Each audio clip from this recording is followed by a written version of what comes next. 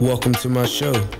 My name is Marcell Johnson, and this is a Freedom Experience.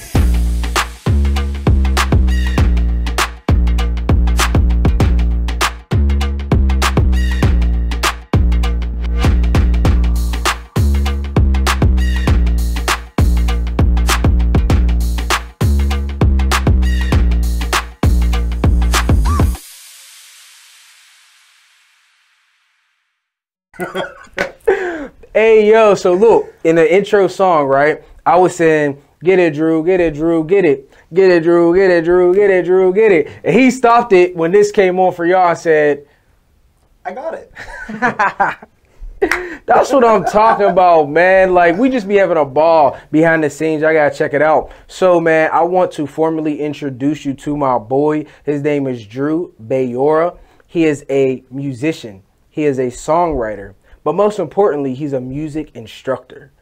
Yeah, let's go, bro. Let's go. So I'm happy to have you. I'm Yeah. excited that you stopped through. So in case y'all don't know, man, so I just recently met Drew at an event that I was hosting at. And my boy was uh, behind the scenes doing the music. So, you know, my boy Yusef was talking to him because he's a musician. And me and Drew now is a part of a group in Pittsburgh where we're coming together to worship and to basically just make songs and develop like art and creativity for God. So he's a vocal coach. That's something that I really need to speak. So if you need a vocal coach, if you need somebody to help you arrange music and instruments, how many instruments do you play? A lot. some, some better than others, you know. Yeah, but bro is so talented and he's gifted, and that's why I feel like God is so strategic with who I have on the show. And he wanted Drew to be on here because my guest who was supposed to be on here couldn't fly in from Atlanta. And Drew happened to just hit me, and I'm like, ooh, God, I see what you're doing. So, Drew, man, I just want to thank you for stopping past. I want to get into some questions. To keep it real with y'all, I did, you know, usually I have question cards with people's name and all their information that I want to ask them. But for Drew, we're just gonna keep it a stack and just be regular. You feel me? We're just gonna be real. So I'll hold the question card just because it makes me feel better. But but there's just this like a raw interview, bro. So first of all, I want to ask you, how did you get into music? So I I took some lessons when I was younger, uh, when I was maybe five or six. But my, Okay. so my parents don't play anything at all. At all? Mm-mm. So you don't come from a musical family? Well, my my grandfather and my grandmother, who I never met, she died when Wow. uh, when my mom was pretty young. Okay. Uh, they were both musicians. They both kind of just played everything. Yeah. It just- comes down generationally. Yeah, it skipped like skipped a generation. Yeah. Uh, and you know, my, my uncle played a little bit, um, and but I I took lessons when I was younger, but I wasn't super into it. You know, practicing. If it's uh if if you can't get into it in a fun way, you kind of Yeah. just tune out when you're young. So when I was about 15, I had a guitar lying around. I picked it up and realized, oh, I can like play some songs on the radio. Wow. And and then I kind of got into it for myself to where it was fun. You know. Wow. And I think that that's so creative because a lot of times we don't even notice our gifts. Like we're blinded to our gifts and we kind of fall into it. But that didn't happen by accident. Yeah. So what type of music was fun for you to play and like, you know what I'm saying? What was like your vat back then? Yeah, so um, we had when I was 15, uh, I was I guess a freshman in high school. Okay. We we moved. Um, we we started going to a different church, right? And I Mm. started playing um, or realizing there was a, a place to play on the worship team. So for me, music has always been a social thing. Like it's, I love sitting by myself uh, at a piano or just with a guitar and just playing, but there's something different that happens when you play with other people Yeah. And so that- that unity, that unity. yeah, that's really what it was. It was like, oh, I can use this, uh, what I'm practicing to, to like communicate and, and be in a group, you know? Use music to communicate. So would you say you had like some communication issues as a kid and then you found like music as an outlet? Yeah, I would say that. Like, um, growing up, I, I think I was always kind of, I was around older, older people a lot. Yeah, that explains your old Yeah. soul. Yeah, Yeah. that, that's a big part of it. yeah. So, so grow, you know, and when you kind of have that vibe, kids can pick on you and stuff, you know? Yeah. and I kind of took that, started playing guitar, and kind of found like a somewhat of an identity in that. Yeah. know, like, ide- identity is a, a whole loaded topic, but I think when, when you're young, you're trying to find yourself. I was into sports a little bit too, but Okay. really, What sports did you play? uh, I played football. And okay. then Yeah, you're kind of bit. Drew's like, how tall are you?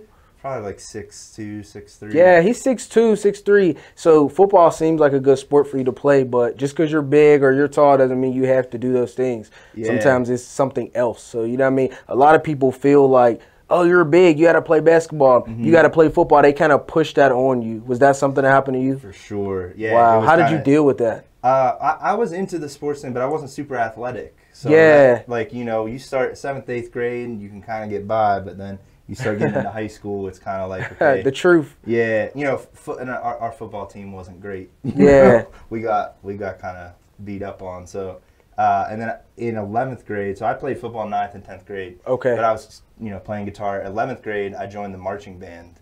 Wow. Strangely, like so in 12th grade, I was going to play football again. Okay. But I um, was at Kennywood. I tried to jump over somebody, you know, kind of horse playing right in front of the Phantom's Revenge. Doing the most. uh-huh, literally doing the most, the most. right? So I go to jump over, leapfrog my buddy. Okay. He sticks his arms out. And I Mm. dive. So this is three days before football camp, right? I'm supposed to go football camp. I dive into the pavement.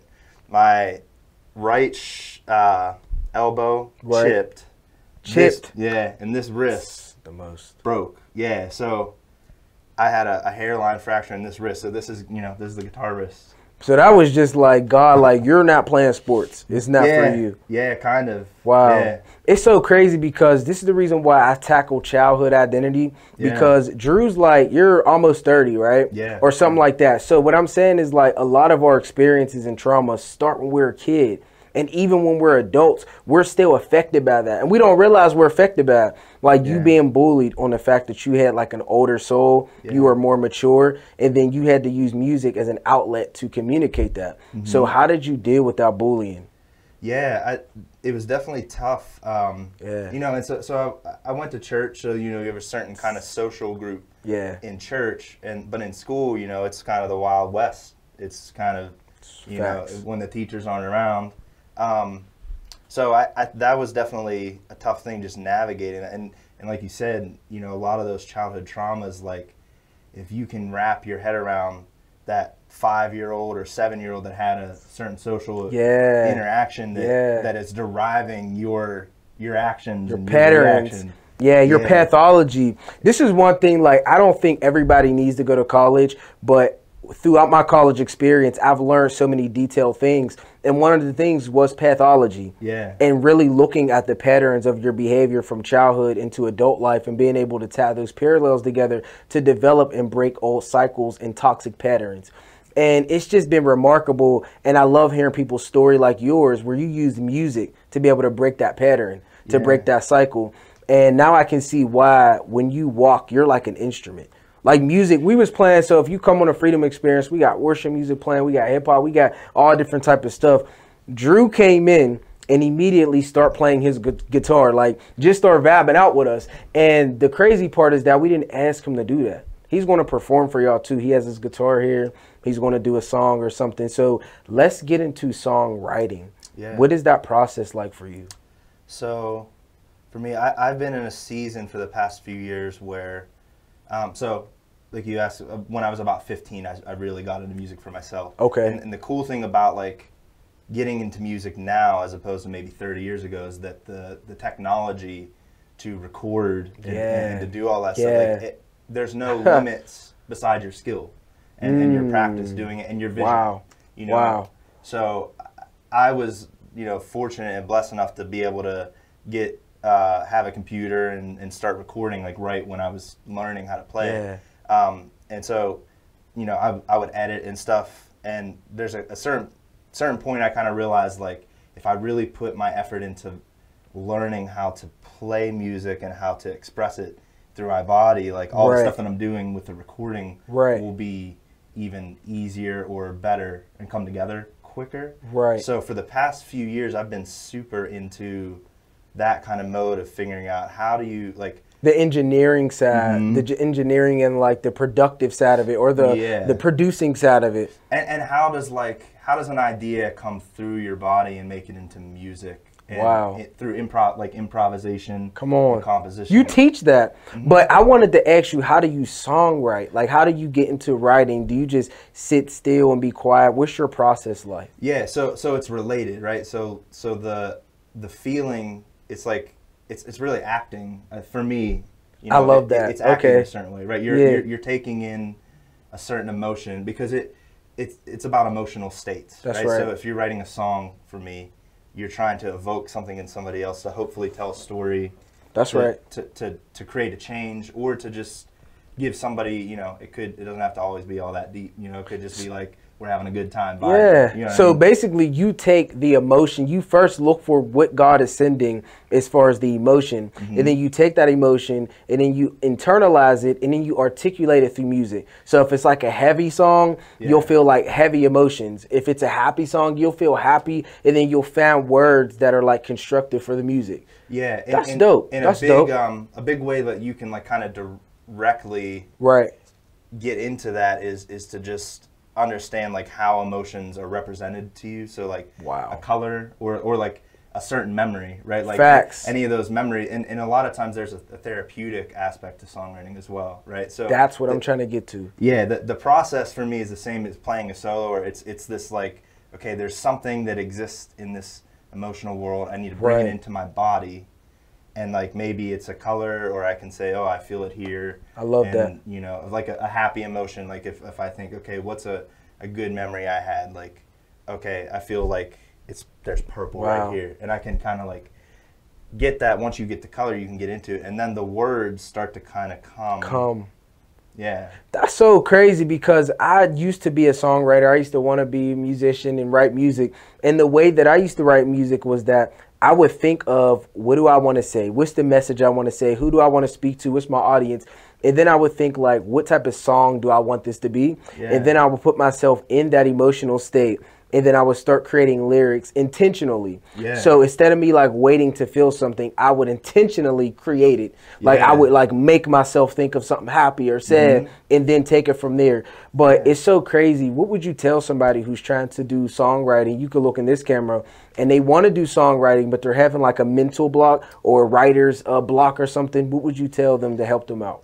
So, so the biggest thing um, with any creative work is there's there's the craft, Okay. uh, right? And so that's if I'm writing, that's okay. You give me a random word, and especially like rappers are really good if you freestyle off the dome, right? Like it's okay. How can I create something right here from this thing? That's a craft thing. Do you freestyle? I do, but I probably. Can I hear some? Come on, nah. This is the freedom experience. We keep it a stack. Come on, let me let me hear the, something. The freedom experience. I've never done this on camera, so Hey. I'm a little bit nervous, Hey. but it's okay. We can work it. I'm Hey. not sure if people will judge me, but I don't care because I'm not a book. Come on. Well, maybe I am, but you have to read me a little bit. Take a second look. Come You on. get into it. You can see that you can be something, anything you want to. If you write it, you can see that the emotions that you have in yourself Okay. are are sometimes hard to access when you're writing, right? Ooh. So, oh, so- he tied it back into Yeah. the question. I seen that. I slid through.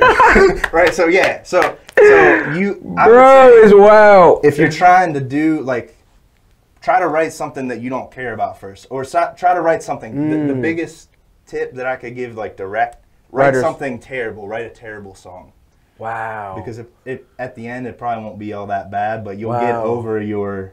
Your Yeah, writer's yeah. Mm-hmm. block. So sometimes you have to filter out the garbage. Like Yeah. write all the garbage, write all the stuff, and then eventually the good stuff will uh, pop up. Yeah. That's really good advice. I like that. And even for like a business owner like myself or anybody else, if you're trying to get something or accomplish it, just start it. I always say the best thing you can do is just start and then eventually you'll reach that destination. So, how important is your relationship with God when it comes to music? Like how do you translate God and music together? For me it's it's everything um, because like it, right like it, existence is worship so Ooh. so music is such Hold a, on, existence is worship.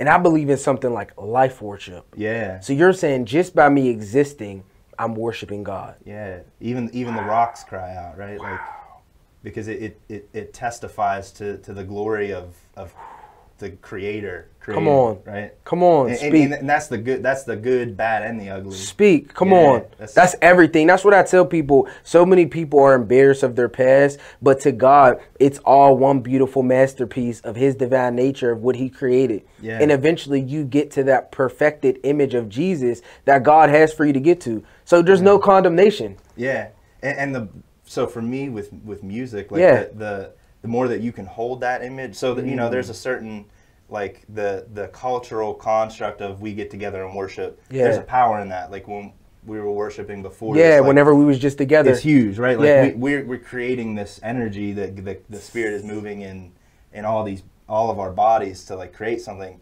and so music allows that. Literally, the rhythm, you know, allows you to get in sync. Like it's not a metaphor; it's literally Yeah. Music puts you in. In the presence of God. Mm-hmm. So you relate music as like an entryway into the presence of God. Yeah. And it's so crazy because the Bible says enter his courts with praise and thanksgiving. So it's like you enter into God's courts in the spiritual realm through praising him, through thanking him, playing music, whatever, life worship. That was so beautiful. So bro, I want to ask you uh can you sing something for us? Yeah, Like anything like acapella. I know that you like different music, but anything you want. yeah. Um, let me see. Oh, to Jesus. Come on. I surrender all to Him. I freely give. I will ever love and trust Him in His presence daily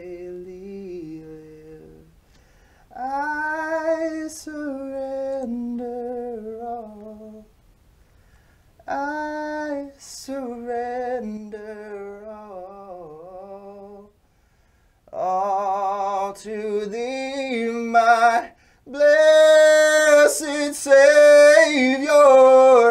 I surrender all.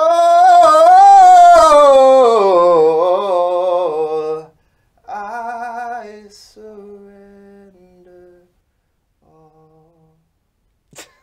bro, get bro, get out of here, bro. You're in here praising, worshiping, ushering in the presence of God. Bro, this is what I'm saying. It's so important for you not to be shy to get in your gift if you can sing, dance, whatever you can do, just do it. Like it's worship. Bro, thank you for that, bro. I can't wait to see you perform. Now, that explains to me why you're a vocal coach. I can see the different like ways you play and do different things. What is your experience like with vocal coaching? Because he teaches music. First of all, who do you teach music to? Um, so a, a lot, I have a lot of different students in a lot of different contexts, but I also teach um, at a nonprofit called Center of Life in Hazelwood, Okay. Pennsylvania. Um, Okay. and it's it's an after school program. Um, so we have some younger kids and Yeah. some high school kids who are we're working on jazz and, and different improvisation. Yeah. Yeah. And I think we were talking about this, and you were telling me most of the kids, the younger kids, were like black kids. Mm-hmm. So Drew is in the city, and he is making a difference in the black community. You know what I mean? And I just want to break that stereotype of how like every white person is against black people. I think that we have real people, boots on the ground, in the midst of it, really helping kids of an ethnic descent like myself to break through those barriers and tap into their purpose. So, what is it like teaching them kids? Uh, it's amazing, man. Like they they they teach me more, Ooh. right? Because like it's you know, music is such a natural thing. There's uh, Yeah. especially singing, you know, and and you see it even with some of the younger kids. Like you you could see in real time some of that trauma, like uh, somebody saying, "Oh, you can't sing, you don't have a voice." Mm. Yeah. So so when I see that kind of thing, it's really to try to say like that's not true. Like if you can speak, you you have a voice. Come on, Um, bro. right, and and that's a new thing. Like people used to sing. You know, it's recorded music is only Just- been yeah. around 120 years or something Facts. like that, right? So it's like where a singer is like this thing that can't be attained, you know. And, Yeah. and obviously, you know, people have different gifts to a degree, but I think like you know the voice is something that we can operate and ry- rhythm and drum. So so with the kids, like it's amazing how you can give them just a little bit of of of something and they'll run with it. Like they'll. It, it's all about that the rhythm aspect. Like Yeah. they, they're in it. How did you get that rhythm? Just through music growing up? Uh, so I my background, you know, in church was not uh, not very rhythmic based, Yeah. right? So this is something that I've kind of had to learn Yeah. over the like I said when I got into music, I was editing stuff that I was doing. I was editing my performances. Yeah. And and so, you know, that's a, maybe a whole longer discussion about Yeah. quant, like they, they call it quantizing music, right? So Okay. any of you producers or musicians, so it's like there's a grid, right? Okay. One, two, three, four, and Oh, I heard of this. yeah. So when you're in the in your software, you can put it right on that grid, right? Yup, So, Mm-hmm. to line it up whenever you're like mixing and matching song uh, vocals. I know about this. Yep, yep, yep. So it's like perfect robot time. Yep. But like there's something about humans playing together. Like it, Yeah. moves a little bit, right? And you can mix them both, right? The algorithm is like different though. It's like Yeah. it's more like life. Uh huh. There's like life in it. I know what you're talking about. So that that I've learned, you know, through. I would say I really picked that up in church over the past five or six years. See, And- church like everybody be talking bad about church, and I get it. The church do got some stuff with them, but ultimately people be coming in there and like tapping into their gifts and learning their experiences. And I feel like church is a beautiful place. So go to church. Like I'm not against church. Go to church. Yeah. You know what I mean? But just don't have that religious spirit about you. Like walk in that freedom. But I wanted to say you also teach high school kids. Yeah. What's the difference with teaching the younger kids and the older kids? So the younger kids will do anything, try anything, right? Once you once you hit Yeah, childlike yeah, faith. Exactly, right? And that that's it. And then once you get seventh or eighth grade, you start getting, you know, like with me, it was the guitar. Okay, I, I'm a guitar player now, right? You Yeah. to get that Identity in a way. hmm Yeah. exactly.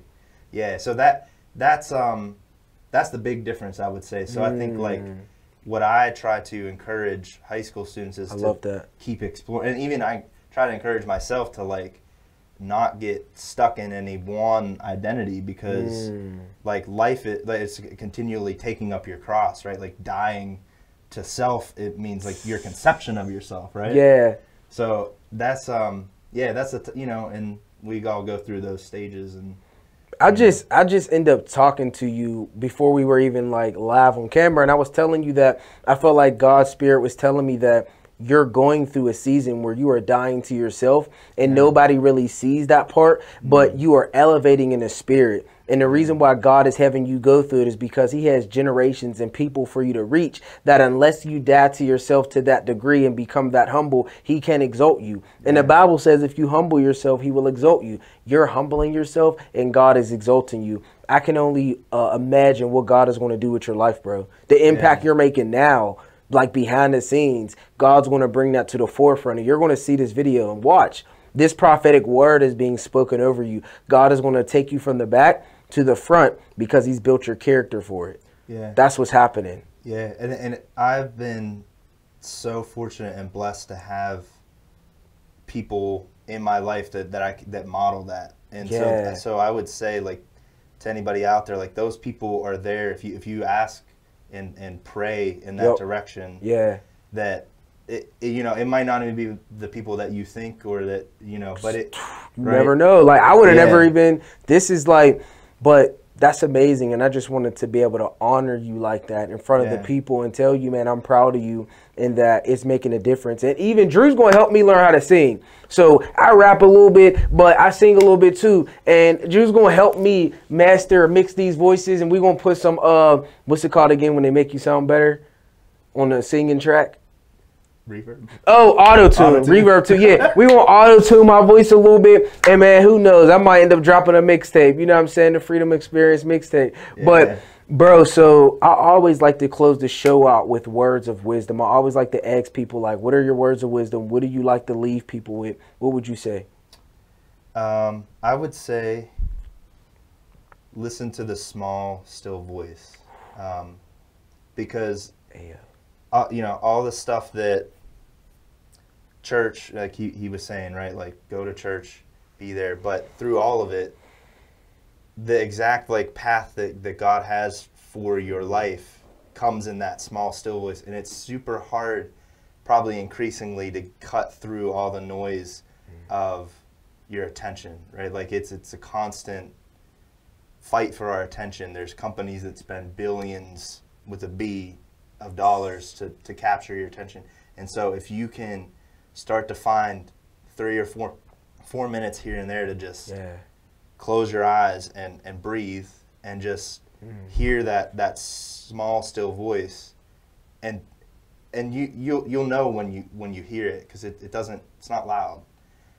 It'll give you that first step you know towards it doesn't matter where, where you're at or, or how dark it is it'll give you the first step towards the light and if you take that first step you'll get another one and another one which leads you to your freedom experience Hey, bro, this is so crazy to me because God says that He will light your path. Yeah. He will light your path before you. Like He is the light of life. And if you're in darkness and you don't know where to go and you're confused about your life, Jesus says, like, listen, I am the way, I am the truth, I am the life. As you follow me, you'll follow the path that I created for you.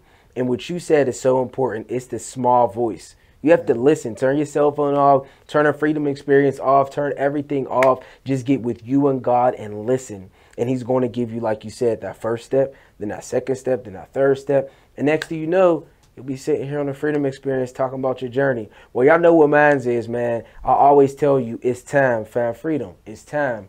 To find god Let's go, man. Stick around. Drew's gonna perform something for y'all. And I love y'all, family. Make sure you like, comment, and subscribe. Peace. What's up, y'all? I'm Drew Bayura, and here's a song I wrote.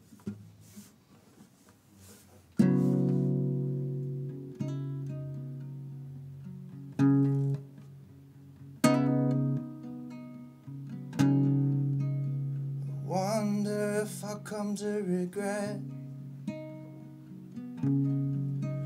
rewinding that dusty cassette relic from a bygone era, an invitation to share in the pleasure and pain of our strange ancestors without a name.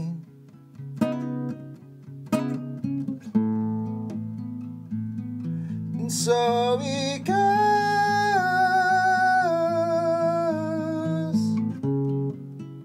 But does the record show? How can I find my place here?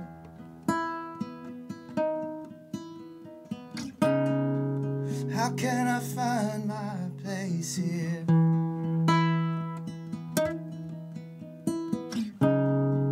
How can I find my place here?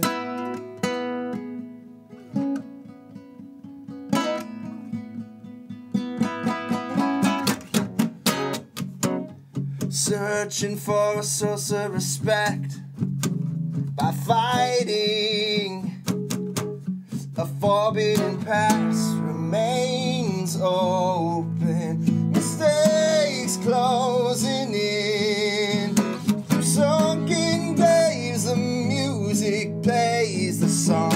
of weeping bones.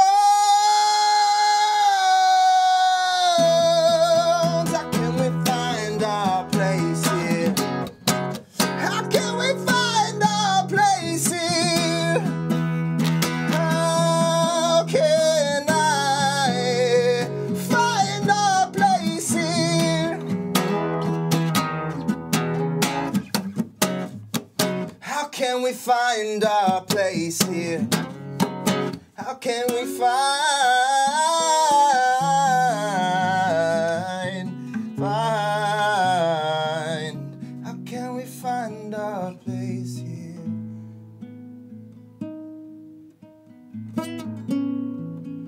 But does the record show the things we feel and know? A freedom experience.